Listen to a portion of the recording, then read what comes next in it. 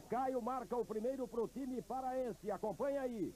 Paysandu 1, ABC 0. Cinco minutos depois, de novo o Cacaio. Veja só, repare. A bola vem lá da direita, com dificuldade. De letra, o Cacaio mete pro gol. Nove minutos do segundo tempo, Quinho faz o gol do ABC. O gol que daria vaga ao time do Rio Grande do Norte.